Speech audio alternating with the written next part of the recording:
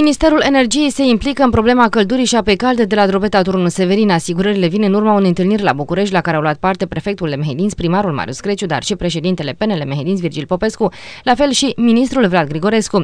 Edirul Marius Creciu spune că Severinul are în acest moment o șansă reală de a beneficia de agent termic la iarnă. Ieri am avut o întâlnire cu domnul Vlad Grigorescu, ministrul Energiei. Am primit, alături de domnul prefect Uh, Cristian Pavel și domnul președinte PNL Virgil Popescu, am primit asigurări de implicarea uh, domnului ministru, a cabinetului pe care dumnealui îl conduce.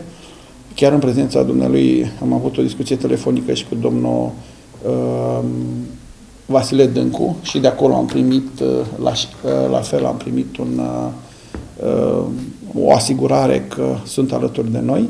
În acest moment avem de făcut câțiva pași, uh, câțiva pași făcuți de uh, SPAET, uh, serviciul în, de public de alimentare cu energie termică pe care îl avem în cadrul primăriei.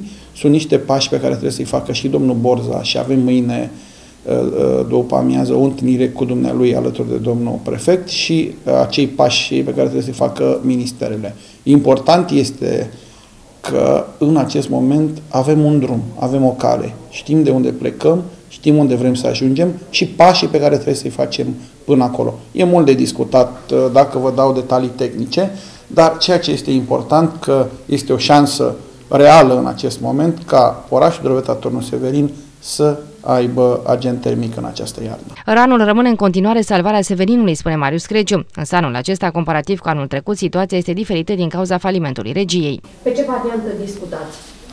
Pe varianta ca serviciul uh, SPAET, serviciul primării, să uh, preia echipamentele RAN și să le opereze prin angajați proprii. Asta înseamnă că noi va trebui să facem angajări în, uh, în, uh, la acest serviciu și prin acești angajați să preluăm, să funcționăm cu uh, instalația RAN. Acea instalație care a funcționat și anul trecut, Uh, și care, din păcate, raportat la anul trecut, uh, am, s-a trecut de la insolvență RAN la faliment. Și atunci ne-a fost destul de greu, destul de dificil să parcurgem toți acești pași care i-am parcurs până acum.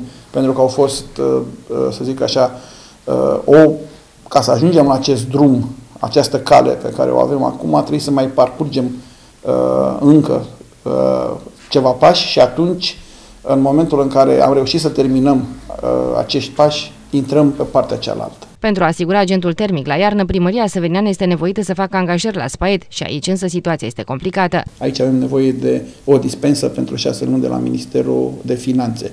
Noi sperăm și, și credem că toți factorii uh, implicați în această problemă vor da dovadă de înțelegere, de faptul că este o, un caz social, o, un caz umanitar ca turnul Severin să nu aibă căldură în acest an și din punct de vedere legal, eu sunt convins că vom găsi, vor găsi și dâns și soluțiile să ne sprijine. Marius Creciu recunoaște că un ajutor nesperat, dar binevenit, a primit și de la președintele PNL Mehedinț Virgil Popescu. Haideți să, să spunem lucrurilor pe față. În acest moment conduce un guvern 90% PNL. Eșaloanele 2-3 din ministere sunt în acest moment conduse de PNL.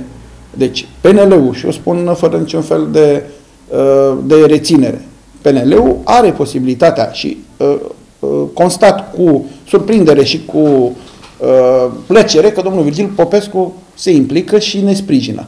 Dar ușile, într-adevăr, se deschid și prin intermediul domnului Virgil Popescu. Încercăm și noi pe toate căile și pe căi oficiale, dar având în vedere că este un guvern preponderent PNL, normal că au mai multă trecere. Așa cum s-a întâmplat anul trecut. Anul trecut, uh, fiind un guvern PSD-UNPR, domnul Gherghe, fost primar, a putut să deschidă ușile, având în vedere că era președinte UNPR, uh, iar noi, care l-am sprijinit la momentul respectiv, inclusiv domnul Șerban Nicolae, senator PSD, a intervenit la varianta PSD a guvernului. Deci așa sunt lucrurile, așa se întâmplă în România.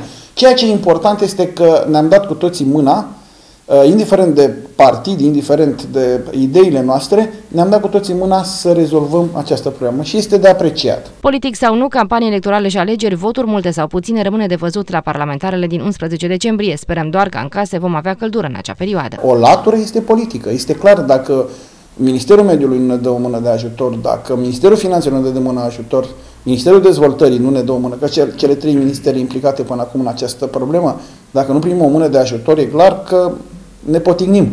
Dar deschiderea am avut, uh, discuțiile care le-am avut inclusiv cu doamna ministru al mediului acum ceva timp, toată lumea este dispusă și pregătită să ne ajute. Pe de altă parte, trebuie să uh, le înțelegem pragmatismul, având în vedere că o să fie alegeri în această toamnă și toți au interesul ca lucrurile să funcționeze, inclusiv la Drobeta Turnul Severin. Au nevoie de voturi, e normal. Dar pe mine nu mă interesează acest lucru, indiferent cine vine, cine vrea să implice și cine ne poate da o mână de ajutor, cu mare plăcere îi așteptăm să o facă.